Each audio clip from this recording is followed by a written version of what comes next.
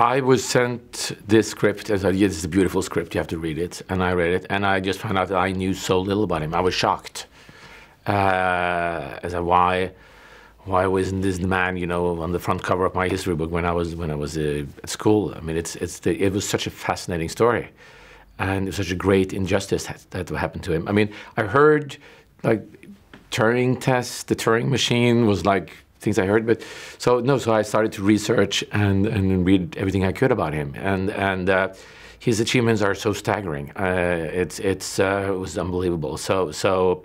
I was such a privilege and tried to sort of like tell his story and spread his legacy.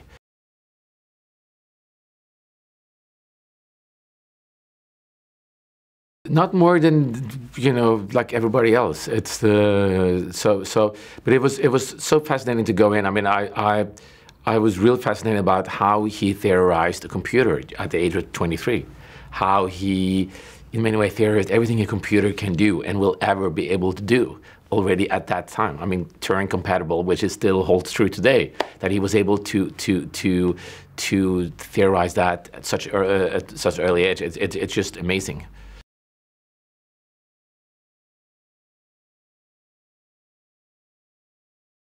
Oh, there's there's so much. I mean, to me, it's uh, first. It's like the, what really fascinated me is like how this man who was a mathematician, who was uh, happened to be put into the center of all of this chaos that happened, all this secrecy. Uh, uh, he became almost like this super spy, having with you know involved in MI6, MI5, and all, all this. I mean, he was sent to CIA. He was sent to New York to lie to the CIA. Uh, he was. Uh, and he was he was a mathematician. He was obsessed with puzzles and machines and how uh, you know how this works. So so so uh, to me it's it's to me the movie is also a tribute to outsiders, to those who think differently. How important it is to have people who are not thinking normally, who actually have new ideas and can see the world in in in a new and different way.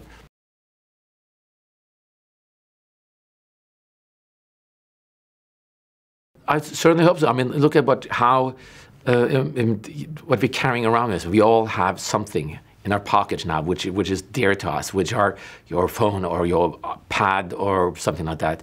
And and he started it all. I mean, he was the first who actually thought about all of this. Who who who who, you know uh, that you know machines can be programmable.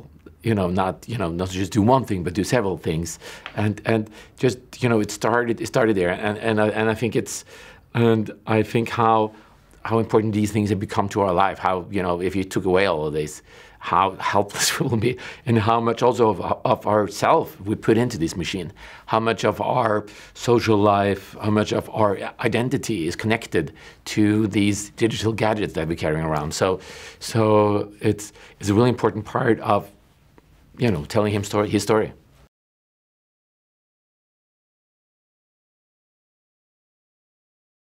We had uh, either either somebody with math or engineering present at all time during the uh, shooting. We wanted things to be correct, and during the shooting, we I mean the machine in the in the film is based on the actual bombe, the actual machine that Turing built. Um, we had a lot of the equipment, like all the Enigma machines, whatever, are authentic from the war. Uh, so it was it was it was it was important was to get it right. So we had somebody from from Bletchley or uh, technicians or and everything. There was math involved. We had math on, on set because I have to be honest, both me and the actors struggle a little bit to understand the complexity of it. So, so we, we need to have somebody around us to, to help us and support us and to get it right.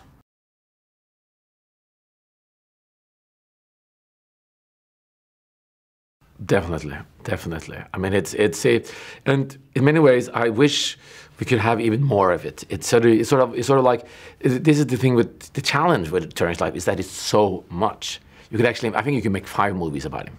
You could, you know, and it's uh, and it's because it's such a such a rich life that that involves so many things and and. Uh, uh, but he he was a true unsung hero, and um, uh, it's been such a humbling a pleasure to actually be able to tell his legacy and then spread his word.